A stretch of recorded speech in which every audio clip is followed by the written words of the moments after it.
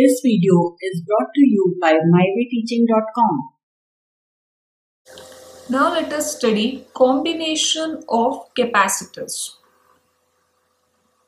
We can combine several capacitors C1, C2, Cn to obtain a system with some effective capacitance C.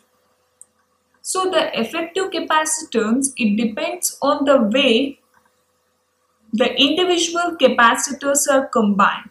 Okay.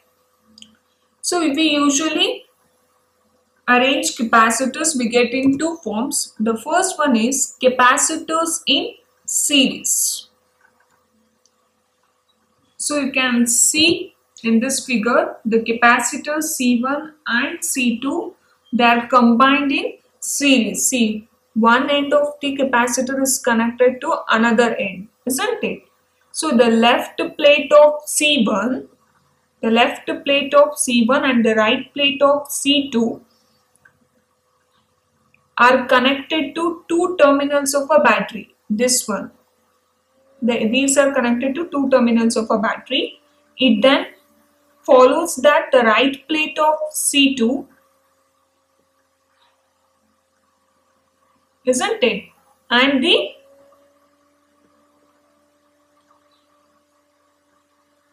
charge it has a charge minus q and the left plate of C2 has a charge plus q.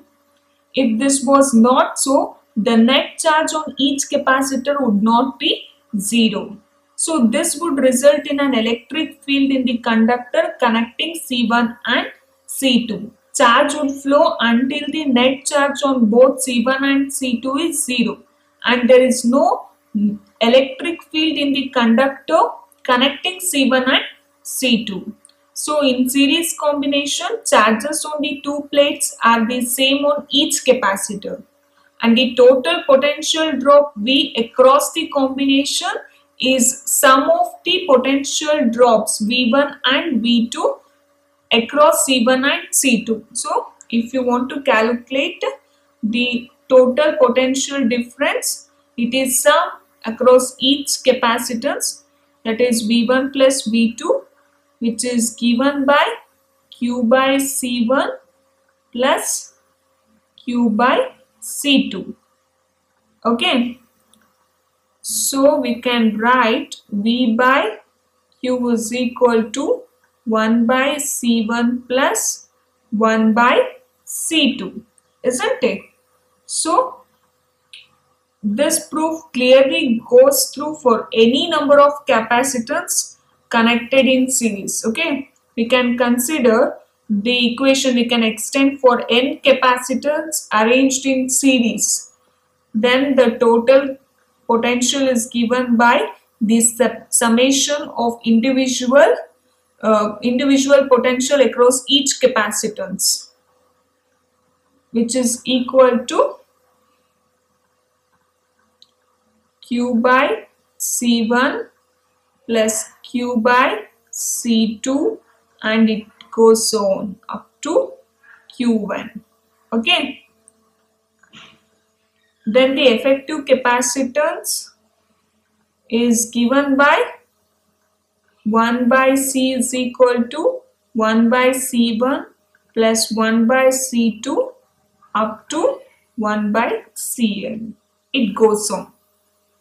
So this is in case of series capacitance. The another form of capacitance that is uh, this is combination of capacitors n capacitors which are connected in series. Okay. And the another form of capacitors, the capacitors which are connected in parallel. You can see in this figure, two capacitors C1 and C2, they are connected in parallel. So, Parallel connection means uh, they are connected to the two same points. They are not connected end to end but instead they are connected to two same points. Okay, in this figure we can see the two capacitors arranged in parallel. See the same potential difference is applied across both the capacitors. So here potential across each capacitor is same that is V In the previous case, it was not. It was different for each V1, V2, V3. But here it is same. But the plate charges on capacitor 1 and plate charges on capacitor 2 are not same. In the previous in capacitors when they are connected in series, in that particular case the charges on each capacitor same. Whereas when capacitors are connected in parallel, the charges are not same but the potential difference is same across each capacitor. So the charge on capacitor, the plate 1 that is given by Q1 is equal to C1 into V and Q2 is equal to C2 into V and the equivalent capacitor is 1 with the charge Q is equal to Q1 plus Q2 isn't it? So we can write Q is equal to CV which is equal to C1 into V C2 into V because V is same we can take V common so Q by V is equal to C1 plus C2 so we can take C is equal to C1 plus C2 if capacitors are connected in parallel. So if you take the capacitors, n capacitors which are connected in parallel, we can extend the formula that is Q will be equal to Q1 plus Q2 and it goes on till Qn. Okay. And the capacitor total capacitance will be the summation, the total charge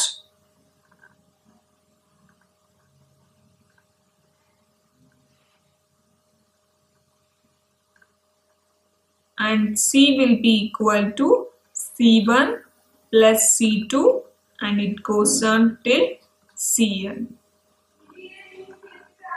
Okay. Now let us see simple example here. A network of 410 microfarad capacitors is connected to a 500 volt supply. As shown in figure, determine the equivalent capacitance of the network and the second part, the charge on each capacitor. Note the charge on a capacitor is the charge on the plate with higher potential equal and opposite to the charge on the plate with lower potential. Okay. This is the figure what I have given. So here we can say the capacitors are connected in series isn't it? They are connected end to end. They are not between same two points. Instead, they are connected to end, end to end in an end to end fashion. So, in a given network, C1, C2, C3, if you say C1, C2 and C3 are in series, but C4 is in parallel. Yes. Because if you find the equivalent capacitance for C1, C2, C3, next the network will become like this. This is the equivalent capacitance and the remaining one will be C4. After calculating the equivalent capacitance for C1, C2, C3, if we say that equivalent capacitance what we will calculate is C dash, the network will come like this so now we should calculate C dash, then we have to calculate equal capacitance after that, okay. So C dash, in order to calculate C dash, C1, C2, C3 are connected in parallel. So we know that 1 by C dash is equal to 1 by C1 plus 1 by C2 plus 1 by C3 when cap- capacitors are connected in parallel this is the equation that we have to use and uh, in the question they have given C1 is equal to C2 is equal to C3 is equal to 10 microfarad. So 1 by C dash is equal to 1 by 10 microfarad plus 1 by 10 microfarad plus 1 by 10 microfarad. And C dash will be equal to 10 by 3 microfarad. So now we got C dash. So C dash and C4 are connected in parallel. So in order to get the final equivalent capacitance, we have to add because in parallel we'll add, right? So 10 by 3 plus 10 microfarad is equal to 13.3 microfarad. Okay. This is the first part. And coming to the second part.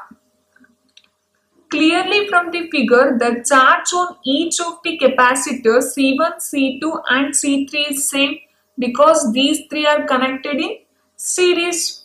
Say the charge is Q. And uh, let us say the charge on C4 is Q dash. Because in parallel it is connected in parallel in parallel potential difference is same but not the charge. Since the potential difference across AB is given by Q by C1 potential difference across AB okay and across BC it is given by Q by C2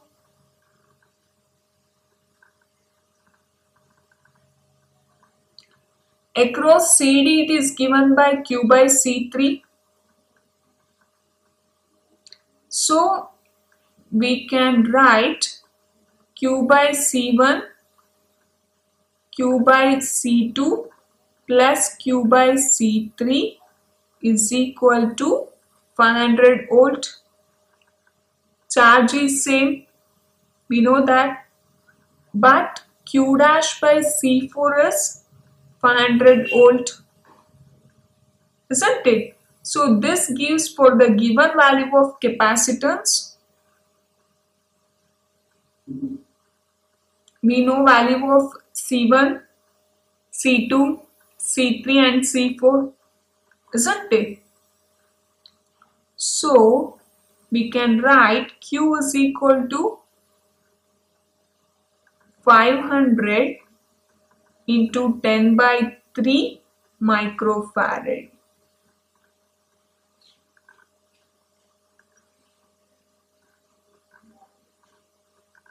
which gives 1.7 into 10 raised to minus 3 coulomb. And for calculating the charge Q dash, that is 500 into C4 is 10 micro which is equal to 5 into 10 raised to minus 3 coulomb. Okay. So this is the simple problem. So first we have to analyze the problem whether the capacitors are connected in series or parallel. Once if you get that it's very easy to go further. So when capacitors are connected in series the equivalent capacitance is given by the formula that is 1 by C1 is equal to 1 by C is equal to 1 by C1 plus 1 by C2 and it goes on. This is when capacitors connected in series. When capacitors are connected in series, the charge on each capacitance remains same. So on C1, C2, C3, the charge is Q. It is same for all these three. That is the first part. And then when capacitors are connected in parallel, the equivalent capacitance is given by C1 plus C2 up to Cn. So when capacitors are connected in parallel, the potential V is the same for all the capacitors because they are connected between the same two points. So in when they are connected in parallel, the charge on each capacitance will be different. When capacitors are connected in series, the potential difference on each of the capacitor will be different. Okay. So considering these points, we have to solve the problem.